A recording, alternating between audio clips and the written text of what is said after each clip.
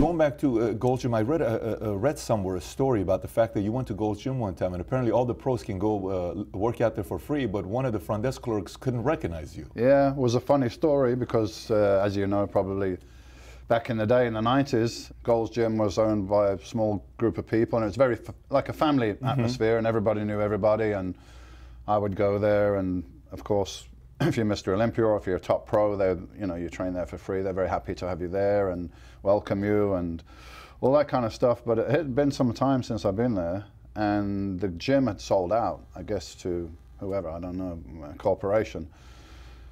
So they got people working there that maybe they're not that familiar with with uh, bodybuilding. So I've gone there to work out, and I'm like, hey, I'd like to train, please. And the girl's like, whatever, it's forty dollars or whatever it was. So I don't want to jump straight in there like, hey, you know, don't you know who I am? Yeah. So I'm like, well, I don't normally pay to train here. Uh, why is that? Uh, because I'm a pro. You know, pros we don't usually train. But okay, but I, how do I know if you're a pro? Have you got some proof? So at that point, I'm like, well, if you want to swing around and look on the wall right behind you, the big picture there with Dorian Yates on, that's me. That's me.